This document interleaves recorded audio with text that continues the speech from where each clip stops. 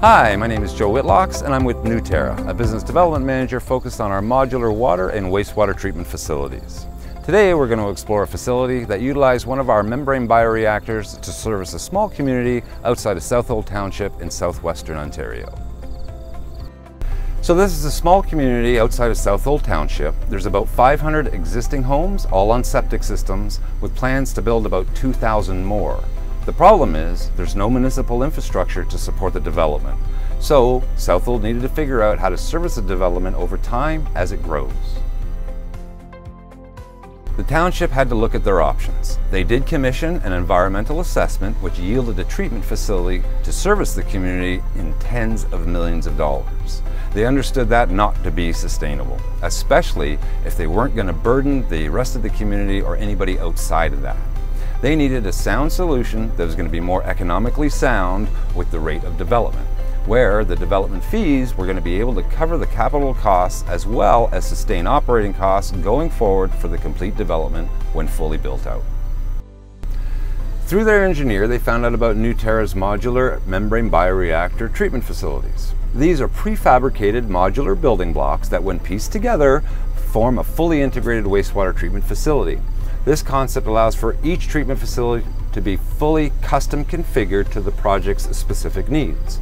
Employing MBR technology also allows for many more options as far as effluent receivers go, simply because of the quality of water.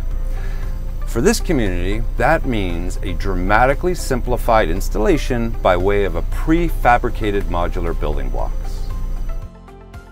Installing the seven building blocks on site took less than a day. Finishing touches were gradually added afterwards, including a facade finish for a professional look and a backup generator. The plant was then seeded from a nearby wastewater treatment facility and the system was up and operating with high quality effluent, meeting a very stringent surface water criteria within days. In a decentralized environment, sound, odor, and aesthetics can be critical. One important aspect of this project was that the wastewater plant was going to be integrated within the residential community. This made odor and sound attenuation a must.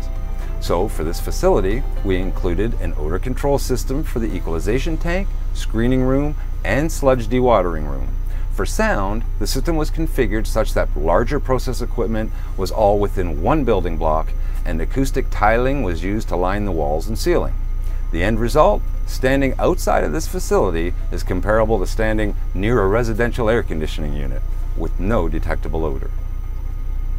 Part of what makes modular facilities so effective is that it enables responsible growth, where the servicing costs remain proportional throughout the life of the project. This is achieved by designing the facility for the full build demand and breaking it into modular phases and installing them incrementally as required. Well, with water treatment, we were in a spot where we knew we had to grow. We'd had a downturn with the loss of the Ford assembly plant, and we looked at uh, wastewater treatment and growing our uh, borders in the, the area.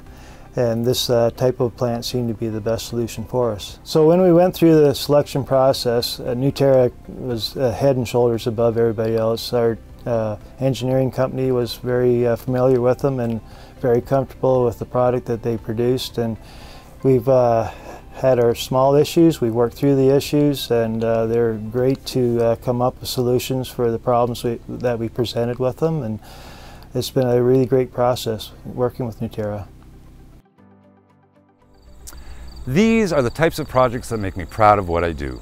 Working with progressive folks from the town council, their engineering firm, and the local developer, implementing a cost-effective solution that makes a difference for this small community and many others. From all of us at Newterra, thank you for listening.